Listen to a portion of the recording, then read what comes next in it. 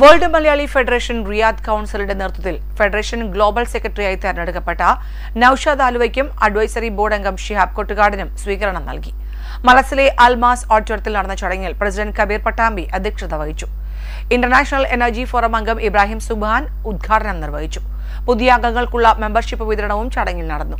ബിജൂസ് കറിയ Benyamin ബിൽറു media forum അംഗങ്ങളായ ഷംനാഥ് കർനാഗപ്പള്ളി ഷിബു ഉസ്മാൻ നിസാർ പള്ളികശ്ശേരി തുടങ്ങിയവർ ആശംസകൾ നേർന്നു.